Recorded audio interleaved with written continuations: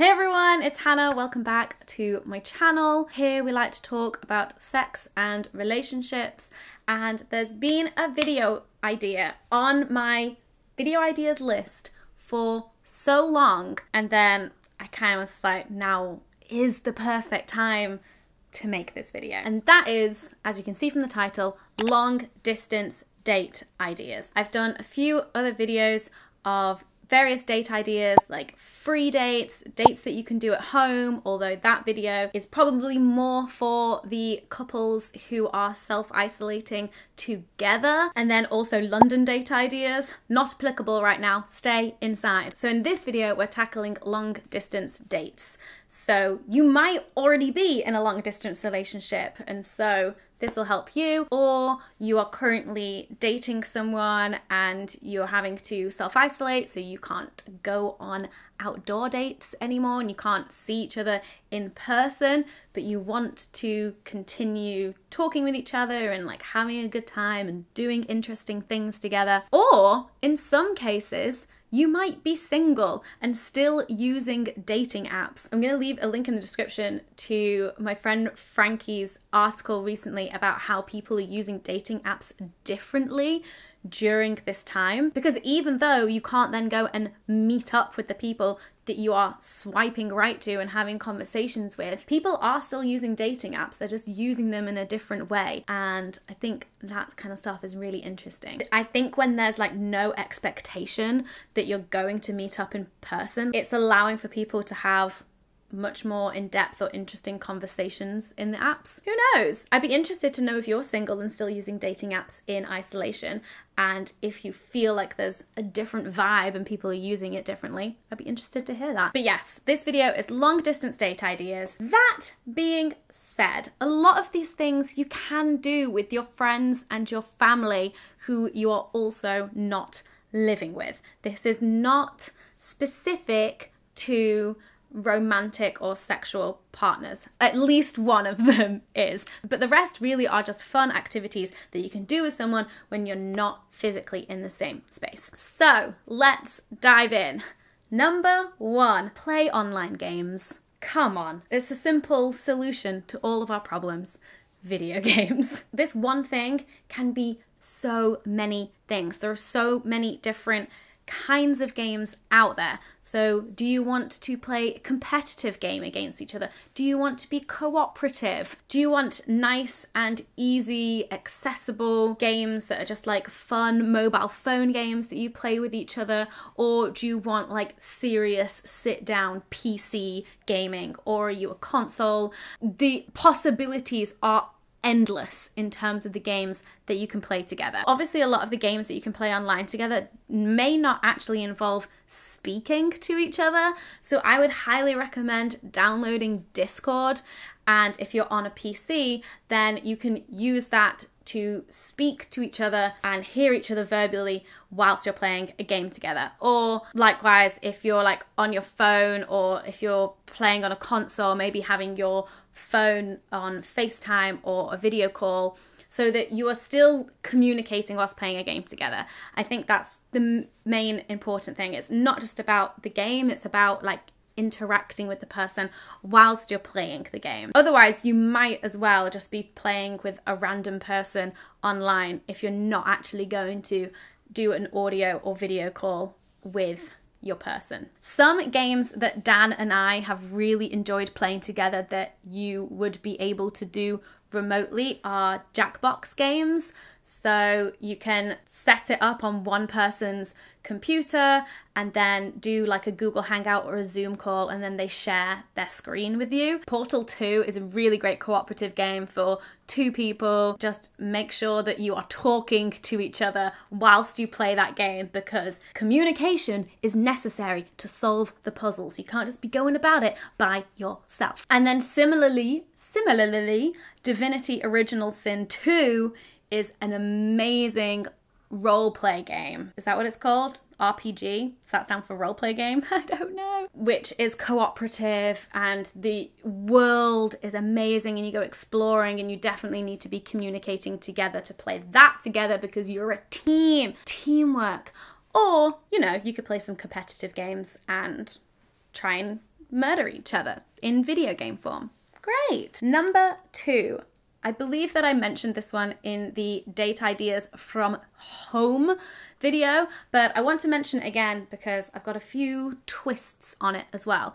So it's the book club idea. Read a book together and then organize a time to have a video call to discuss said book. You could even take it one step further and read the book to each other whilst on a call, which could be cute. But the twist to this is that it doesn't necessarily have to be a book club. The mindset that I want you to get into is consuming the same things together and discussing them. So it might be a book that you want to discuss, or it might be that you have read an article or listened to a podcast episode that you're like, oh my God, I want you to read this, let me know what you think. But rather than doing the let me know what you think via text and they go, oh yeah, I thought X, Y, and Z, actually be like, hey, there's this article or there's this podcast thing. Consume this. I want to know your thoughts.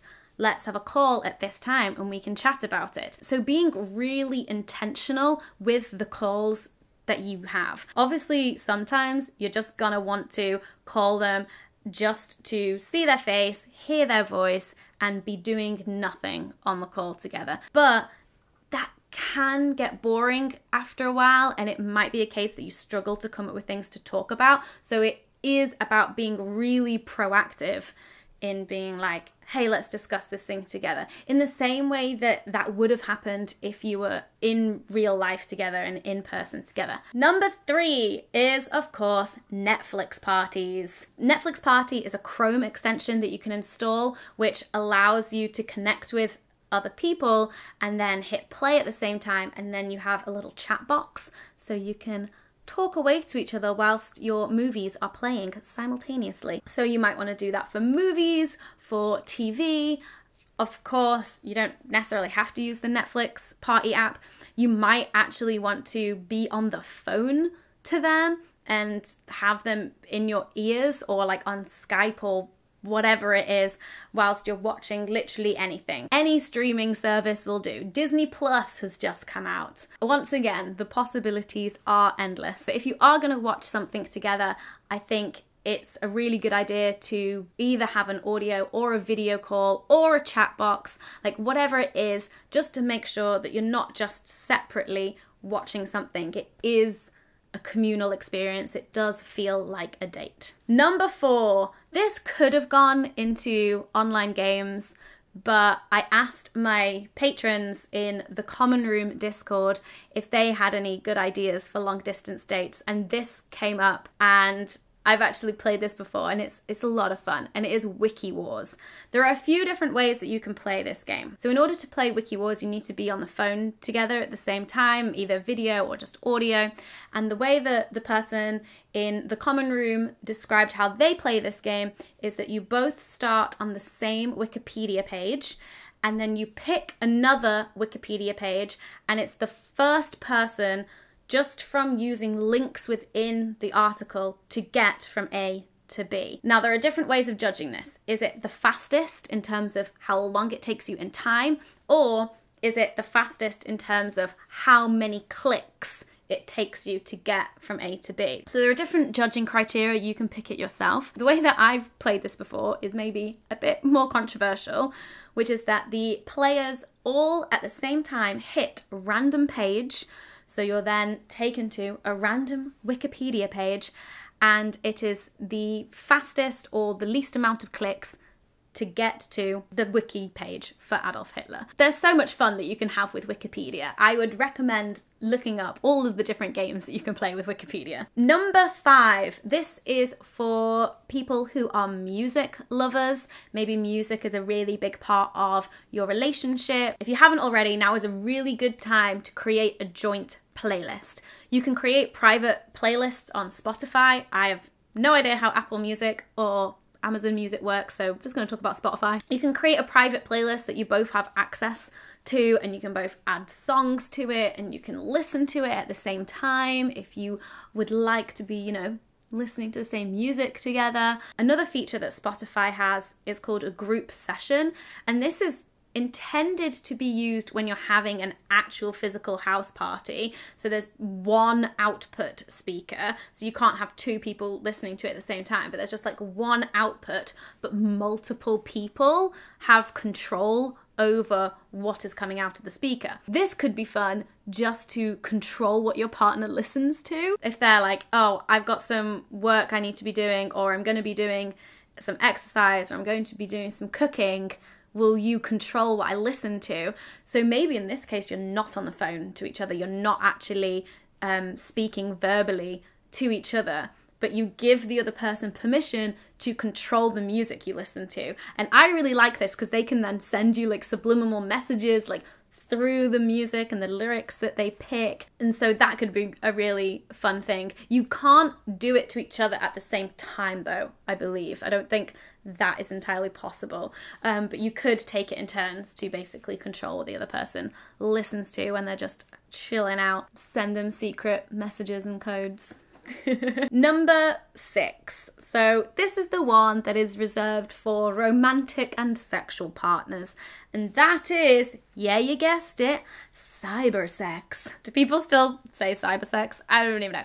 Sexting, Skype sex, phone sex, whatever you want to do digitally and getting horny. Obviously, with this one, there is the caveat of being aware of safety and trust. And there are laws in the UK about sexting and minors, and minors counts as under 18. I'll leave some links in the description to some comprehensive information about sexting and the law so you can make the best informed decision. No judgment here on like what you want to do, but obviously there are risks attached to it, but it can be a really amazing way to still feel sexually connected to your partner, um, to get hot and horny together whilst being physically apart. It's also a really great way to get to know each other sexually, to get to know yourself sexually. And if you're having Skype or phone sex with your partner, there's no chance of pregnancy or STIs. That's a pretty damn good thing. Also, there's some really great sex tech out there that may help with long distance relationships. Have a look at some app controlled toys such as Mystery Vibe and Vibease. You're welcome. Number seven is cooking together. Oh, I love cooking together. You can cook together over video calls, you can eat dinner together over video calls. You could even do a thing where you buy the same ingredients and you try and cook the same meal together, that would be super cute. Bonus points if you do that. Number eight. Again, this is one that I've mentioned before, but I just want to reiterate it because I love it so much, and that's karaoke night. Get some tunes up on YouTube, put your video call on, and have a few drinks and have a good time. That's all. Number nine is take online personality tests, relationship quizzes together, do all of the things that are basically in the Who Am I series and more.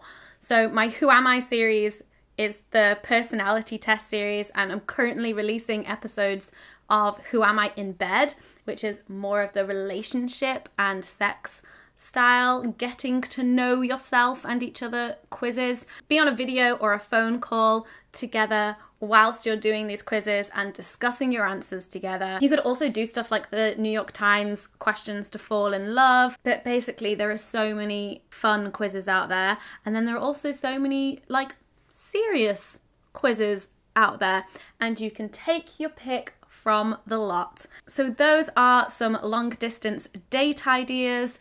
Let me know in the comments if you have any other ideas yourself that you want to throw into the mix. Please like this video if you enjoyed it. Thanks so much for watching and don't forget to subscribe because I make new videos every week. Bye!